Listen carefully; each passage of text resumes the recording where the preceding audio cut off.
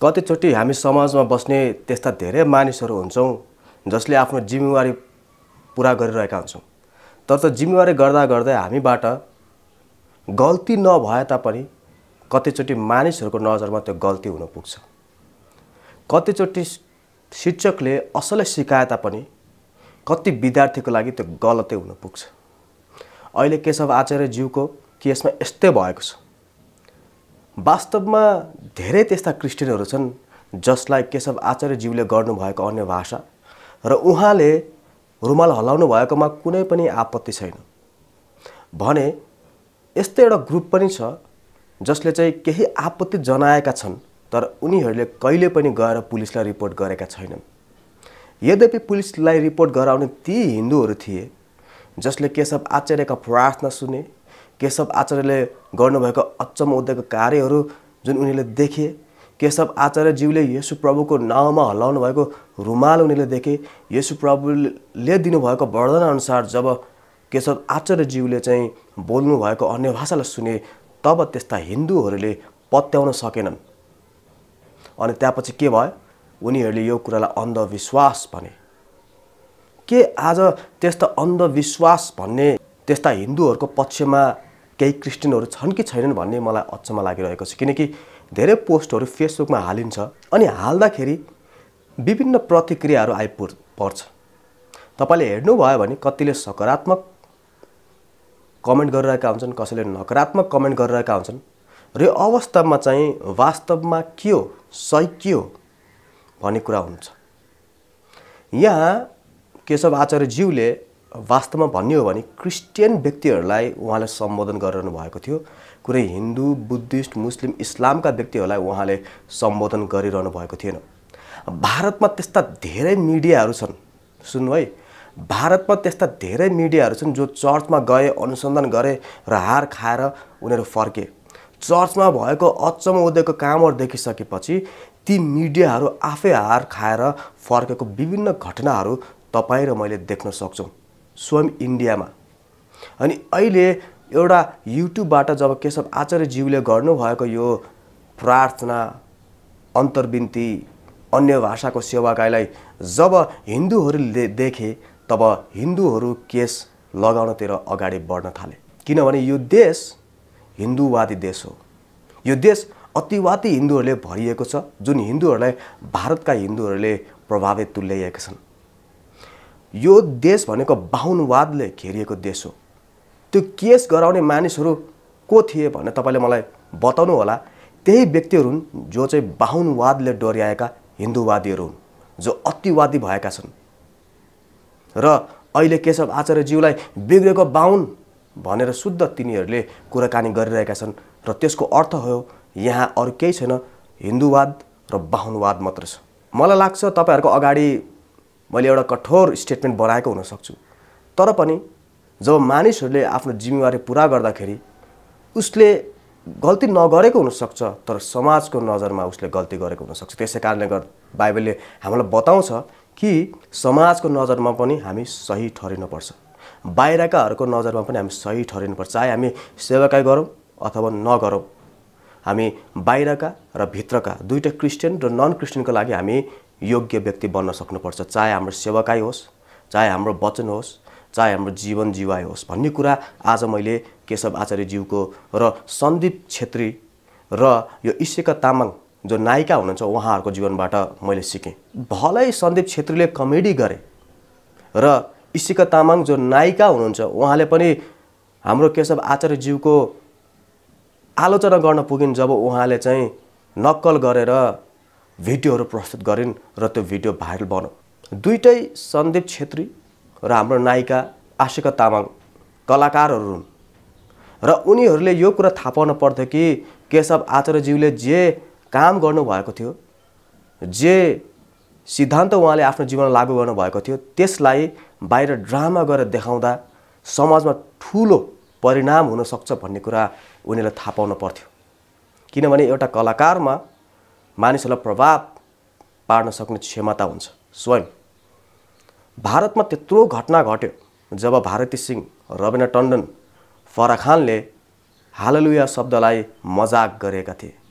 भले पछि भारत सिंहले झुटो बोलेर क्षमा मागिन् तर त्यो साँचो पश्चाताप थियो कि थिएन भन्ने कुरामा पनि अहिले पनि मलाई शङ्का लागिरहेको छ। किनकि भारत सिंहले झुटो बोलेर क्षमा मागिरहेकी थिइन्। उनले भनिरहेकी थिइन् मैले हालै लुया शब्दको अर्थ बुझेको थिइनँ तपाईँले भिडियोमा हेर्नुभयो जहाँ उनीहरूले कमेडी गरेका थिए त्यहाँ हालेलुया शब्दको अर्थ प्रेज द लर्ड भनेर उनीहरू स्वयंले बताइसकेका छन्।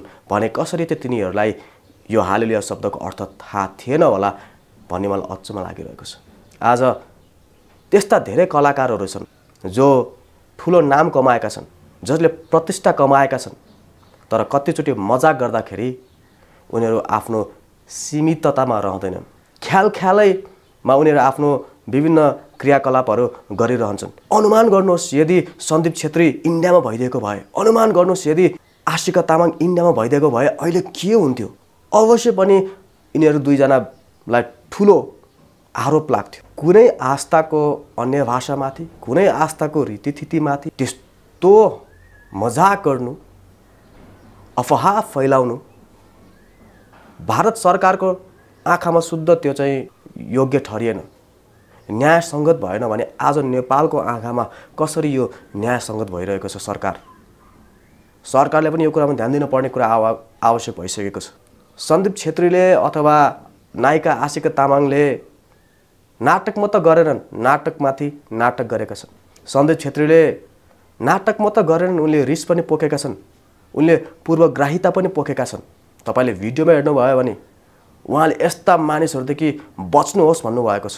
उहाँले यस्तो न्यायको वचन कठोर किसिमको शब्दहरू उहाँले प्रयोग गर्न नहुने थियो। र उहाँले त्यत्रो जनताहरू माझमा आज क्रिस्चियनहरूको लागि उहाँले अफवाह फैलाउनु भएको छ। किनकि जे केशव जीले गर्नुभएको छ त्यो क्रियाकलापले सम्पूर्ण क्रिस्चियनहरूलाई प्रतिनिधित्व गर्दछ। त्यस्तै गरी आशिका तामाङ जसले किचनमा गएर केशव आचार्यज्यूले बोल्नुभएको वचनलाई प्ले गरेर आफ्नो शरीरको हाउभाव देखाएर जब उहाँले नाटक गरिन् तब विभिन्न क्रिस्चियनहरूबाट उहाँले कमेन्टहरू पाउनुभयो। कति क्रिस्चियनहरूबाट उहाँले सकारात्मक कमेन्ट पाउनु भएको रहेछ? कति क्रिस्चियनहरूबाट उहाँले नकारात्मक कमेन्ट पाउनु भएको रहेछ? तर उहाँलाई भित्रबाट चाहिँ नकारात्मक कमेन्टले छोएको रहेछ। कुरा के हो भने नायिका आशिका तामाङले इन्डियामा भएको घटनाबाट सिक्नु पर्ने थियो भारती सिंहबाट सिक्नु पर्ने थियो फरा खानबाट सिक्नु पर्ने थियो रविना टेन्डनबाट सिक्नु पर्ने थियो। जो आशिका तामाङभन्दा सिनियर एक्टरहरू हुनुहुन्छ फेमस हुनुहुन्छ फरा खानको कुरा गर्ने हो भने उहाँ मल्टी ट्यालेन्टेड हुनुहुन्छ। रविना टन्डनलाई हेर्नुहोस् उहाँ एकदम सुन्दरी हुनुहुन्छ उहाँको एक्टिङ एकदम राम्रो छ। भारती सिंहको कमेडी हेर्नुहोस् सन्दीप छेत्रीलाई कम्पिटिसन गऱ्यो भने सन्दीप छेत्रीले भ्याउँदैन। त्यस्तो कमेडियनहरूले लास्टमा गएर विनम्र भएर क्षमा मागेको घटना तपाईँले इन्डियामा देख्नु भएको छ। झुकेको कुरा तपाईँले इन्डियामा देख्नु भएको छ। फरा खानले झुक्नु भएको छ। रबना टेन्डनले झुक्नु भएको छ। आज नेपालका नायक भनाउँदाहरू कलाकार भनाउँदाहरू किन नझुकेको देख्दाखेरि अचम्म लागिरहेको छ? हाम्रो आशिका तामाङले पहिला एउटा भिडियो बनाउनु भएको रहेछ जहाँ चाहिँ उहाँले धेरै कमेन्ट पाउनुभयो नकारात्मक कमेन्ट। अनि त्यसपछि उहाँलाई चित्त दुखेछ। त्यो पछि फेरि उहाँले दोस्रो भिडियो बनाउनु भयो। त्यहाँ पनि उहाँले एकदमै गर्वका साथ उहाँले जे गर्नुभएको छ। त्यो सही नै हो भन्ने किसिमले उहाँले प्रस्तुत गर्नुभएको छ। अचम्म छ नेपालमा। किन यस्तो उत्साह आएको छ? कहाँबाट यस्तो ऊर्जा आयो हाम्रो आशिका तामाङलाई यस्तो गर्नको लागि? कहाँबाट उत्साह आयो हाम्रो सन्दीप छेत्रीलाई त्यस्तो गर्नको लागि? भन्ने कुरा एकदमै अचम्म लाग्दछ। यसको कारणहरू एकदमै सजिलो छ। नेपालमा क्रिस्चियनहरू अल्पसङ्ख्यक छन्। क्रिस्चियनहरूलाई सरकारले पनि त्यति धेरै ध्यान दिँदैन। र हेऱ्यौँ भने हिन्दूहरूको सङ्ख्या बहुसङ्ख्यक छ। र यी दुइटैजना आशिका तामाङ हाम्रो सन्दीप छेत्री दुइटै हिन्दू वर्गका परे। अनि व्यक्तिहरूलाई एउटा क्रिस्चियनहरूको मजाक उडाउन त्यति गाह्रो लागेन। तपाईँ एउटा नेपालको सामान्य जनता भइदिएको भए एकदम राम्रो हुन्थ्यो। तर तपाईँ एउटा रिप्रेजेन्टेटिभ व्यक्ति हुनुभएको कारणले गर्दाखेरि तपाईँ एउटा सेलिब्रेटी हुनुभएको कारणले गर्दाखेरि जब तपाईँले कुनै पनि काम गर्नुहुन्छ त्यसले ठुलो प्रभाव पार्छ। तपाईँ कुनै एउटा ठुलो पदमा हुनुहुन्छ जसलाई सारा जनताले जान्दछ र तपाईँले यदि यस्ता कामहरू गर्नुभयो भने सारा जनताले तपाईँको नक्कल गर्दछ। पहिला सन्दीप छेत्रीले गरे त्यसपछि हाम्रो आशिका तामाङले गर्नुभयो। अनि त्यहाँपछि हाम्रो आशिका तामाङलाई कतिजना व्यक्तिले अलिकति गाली गर्दाखेरि सम्झाउँदाखेरि उहाँलाई चित्त दुखेछ अनि दोस्रो भिडियो बनाउनु भयो। त्यो दोस्रो भिडियोमा पनि उहाँले एकदम गर्वका साथ उहाँले जे गर्नुभयो त्यो ठिकै गर्नुभयो भनेर उहाँले प्रदर्शन गर्नुभएको छ अनि क्रिस्चियनहरूले अन्धविश्वास गर्छन् भनेर उल्टो दोष लगाइरहनु भएको उहाँलाई त्यत्रो सम्झाएको के काम लाग्यो? उहाँलाई त्यत्रो माया र प्रेम साथ विश्वासीहरूले क्रिस्चियनहरूले कमेन्ट गर्दाखेरि त्यसको के भ्याल्यु भयो? जब कि उहाँले आफ्नो गल्ती महसुस गर्नु भएन। मलाई के लाग्छ भने जब मानिसहरूले उहाँको भिडियोमा कमेन्ट गरे त्यो भिडियो उहाँलाई यति मात्र याद दिलाउने थियो कि उहाँले जे गर्नु भएको छ त्यो न्यायोचित छैन। एकदम सजिलो छ तपाईँलाई उत्तर दिनको लागि आशिका तामाङ सन्धु छेत्री। नेपालमा यस्ता मिथ्या कुराहरू धेरै छन्। तपाईँ आफ्नै हिन्दू धर्ममा जानुहोस्।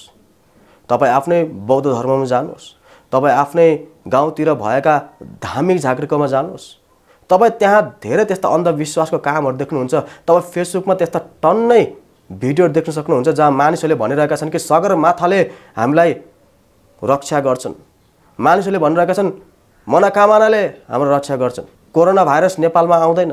आइसक्यो नेपालमा। मानिसहरू बिमारी भइरहेका छन्। यो दिनानुदिन तपाईँले यसको घटनाहरू तपाईँले देखिरहनु भएको छ सुनिरहनु भएको छ। शङ्ख फुकेर कहिले कोरोना भाइरस भएको छ कुनै धामी झाँक्रीले भाले मारेर मन्त्र जप्यो भन्दैमा ढ्याङ्ग्रो ठटायो भन्दैमा कहिले को कोरोना भाइरस भएको छ कुनै पुजारीले गाईको मूत्र गोबर खायो भन्दैमा कोरोना भाइरसबाट ऊ बाँच्दछ त्यसको केही प्रमाण छ?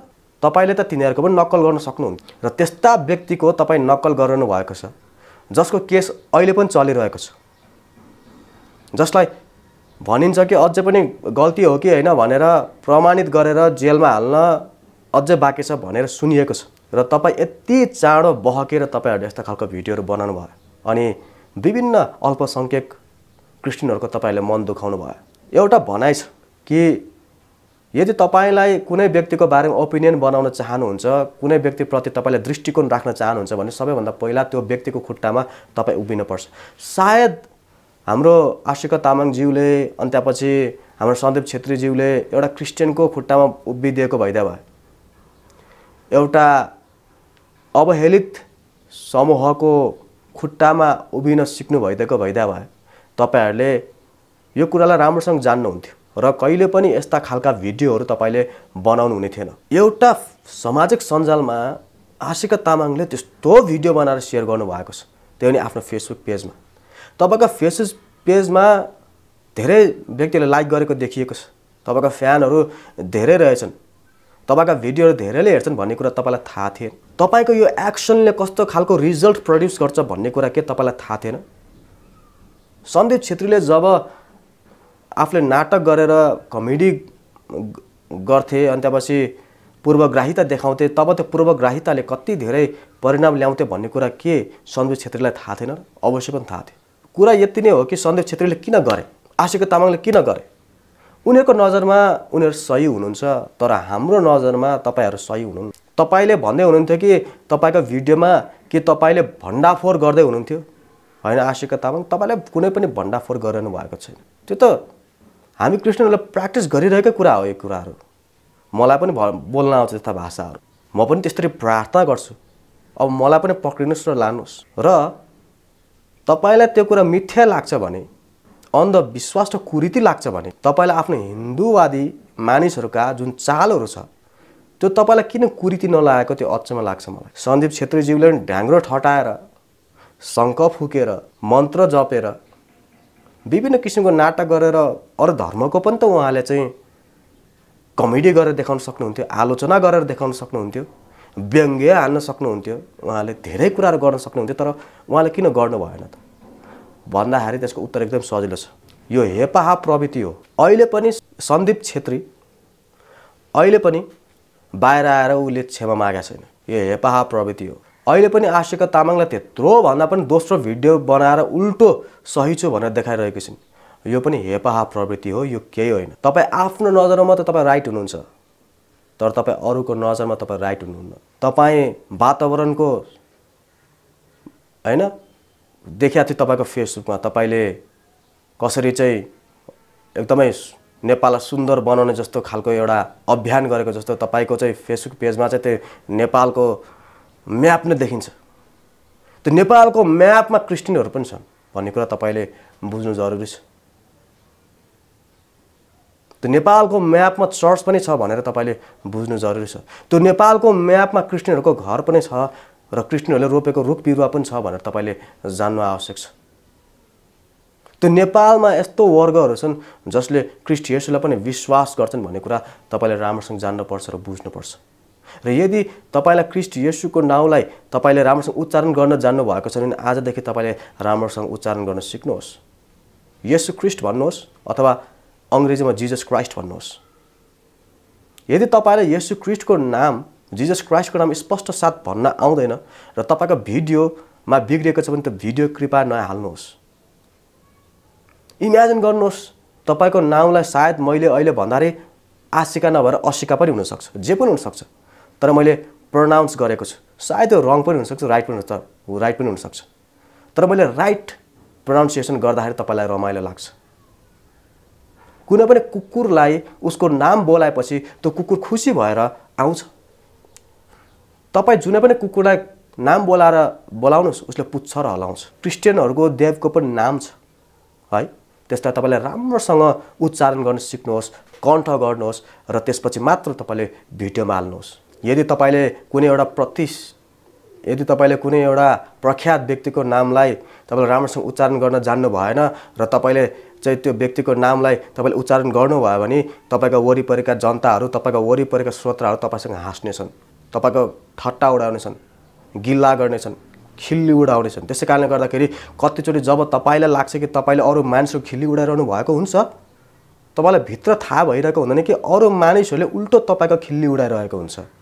सायद अहिले सन्दीप छेत्री र आशिका तामाङ जस्तो सेलिब्रेटीहरू खिसीका पात्र भएका छन् खिल्लीका पात्रहरू भएका छन्। तपाईँका सेलिब्रेटीका सर्कलहरूले अहिले हाम्रा कुराहरू सुनेर तपाईँले के गर्नुभयो भनेर सम्झाउँदै होलान् बुझाउँदै होलान् सल्लाह दिँदै होलान्। त्यसै कारणले गर्दाखेरि त सन्दीप छेत्री हराए कहाँ गए? आउँदैन नि त। बाहिर न क्षमा याचना छ न पश्चाताप छ न आफूले गरेको काम गल्ती हो भने महसुस छ। कस्तो खालको सेलिब्रिटीहरू हो तपाईँहरू? त्यस कारणले गर्दाखेरि केशव आचार्यज्यूलाई मात्र दोष नदिनुहोस् तपाईँहरू पनि कुनै कम हुनुहुन्न। केशव आचार्यज्यूले आफ्नो धर्म कर्ममा उहाँ कम हुनुहुन्थेन भने तपाईँहरू पनि आफ्नो कलाकारितामा कम हुनुहुन्न। तपाईँ पनि ओभर एक्टिङ गर्नुहुन्छ भन्ने कुरा यहाँबाट देखिन्छ क्या। भन्ने कुरा तपाईँको भिडियोहरूले देखाउँदछ। त्यस कारणले गर्दाखेरि यो नसोच्नुहोस् कि केशव आचार्यज्यू चाहिँ रङ थियो र तपाईँहरू चाहिँ राइट हुनुहुन्छ। तपाईँहरू पनि रङ हुनुहुन्छ। मलाई के लाग्छ भने केशव आचार्यज्यू सन्दीप छेत्री र यो हाम्रो आशिका तामाङ आएर क्षमा माग्नुपर्छ नेपाली जनताको अगाडि। केशव आचार्यले पनि आएर क्षमा माग्नुपर्छ सन्दीप छेत्रीले पनि आएर क्षमा माग्नु पर्यो। आशिका तामाङ पनि क्षमा माग्नुपर्छ। र यदि तपाईँसँग त्यस्तो खालको हृदय छैन भने कृपया यस्ता खालका कृतिहरू यस्ता खालका क्रियाकलापहरू कामहरू हामीहरूको माझमा मिडियामा नगर्नुहोस् सामाजिक सञ्जालमा नगर्नुहोस् र हामीहरूलाई गलत मार्गमा नडो नडोर्याउनुहोस्। तपाईँहरू एउटा धर्मको रिप्रेजेन्टेटिभ भएर तपाईँहरू एउटा फिल्मको रिप्रेजेन्टेटिभ भएर तपाईँहरू एउटा टेलिभिजनको रिप्रेजेन्टेटिभ भएर सोको रिप्रेजेन्टेटिभ भएर त पनि तपाईँले आफ्नो जिम्मेवारीहरू ठिकसँग पुरा गर्न सक्नु भएन निर्वाह गर्न सक्नु भएन भने तपाईँहरूलाई के भन्नु? खालि केशव आचार्यज्यूलाई मात्र दोष नलाउनुहोस् तपाईँहरू पनि आफ्नो नजरमा म त सही हुनुहोला। तर अहिले मैले भनिदिइहालेँ तपाईँहरू गलत हुनुहुन्छ। तपाईँहरूले जे गर्नुभयो तपाईँ गल्ती हुनुहुन्छ भन्ने कुरा त भारतमा भएको घटनाले देखाउँछ। हो कि र त्यस कारणले गर्दाखेरि घमण्ड हुनुभन्दा मै ठिक छु भन्नुभन्दा बरु सबैजना नम्र हुनुहोस् तपाईँ तिनैजना। नेपाली जनताको अगाडि आएर माफ माग्नुहोस्। र त्यसपछि तपाईँहरूलाई नेपाली जनताले मान्नेछ। तपाईँलाई स्वीकार गर्नेछ। घमण्डको साथमा कमब्याक भिडियोहरू नबनाउनुहोस्। घमण्डको मनले भरिएर कमब्याक कमेडीहरू नगर्नुहोस्। तर एकदम विनम्र भएर क्षमा माग्नुहोस्। र तपाईँलाई जनताले पनि क्षमा गर्नेछ विभिन्न समूहका वर्गहरूले पनि क्षमा गर्नेछन् र माथि भएका ईश्वरले पनि क्षमा गर्नेछन्। मैले भन्न चाहेको यति मात्र हो। तपाईँहरूलाई परमेश्वरले आशिष दिनुभएको होस्। धन्यवाद।